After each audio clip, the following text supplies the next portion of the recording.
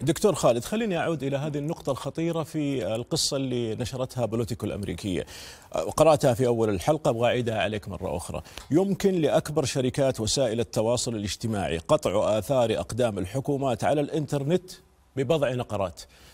طيب هذا اليوم يستدعي منا في العالم العربي. أنا أتكلم بالذات الدول الاعتدال الدول التي تسير إلى الإصلاح والانطلاق للمستقبل. هذا يستدعي منك إعادة النظر في آلياتك الإعلامية مؤسساتك الإعلامية لأنه لأي سبب كان تعسفي بحسب قصة البوليتيكو الأمريكية بنقرة زر أنت تغيب من هذا الفضاء. أنت من وحي حديثك أنا أنا استخرجت مصطلح إن جاز التعبير سميته النفي الفضائي. أنت تنفى فضائيا ما حد يعرف عنك. الآن دول تنفى فضائيا.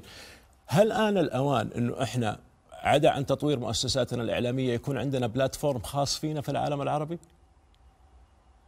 هو ده شيء المفروض أستاذ طارق يكون مفروغ منه. ال social media حاليا هي أمر واقع. نعم. يعني نحن نناقش لكي نفهم. صحيح.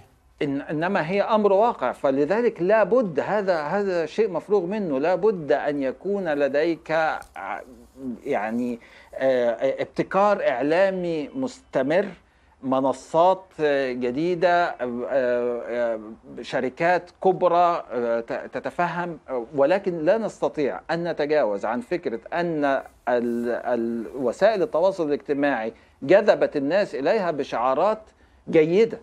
بشعارات جيدة. هي ما ظهر بعد ذلك أن هذه الشعارات لم تكن صادقة.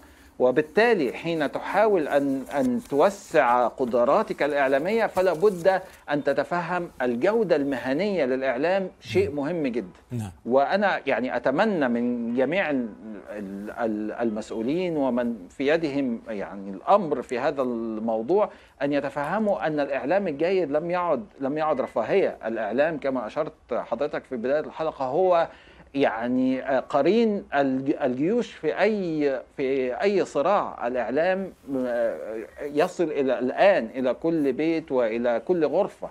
فما من مناص عن شركات إعلامية كبرى ولكن بقواعد مهنية جيدة لكي تستطيع المنافسة.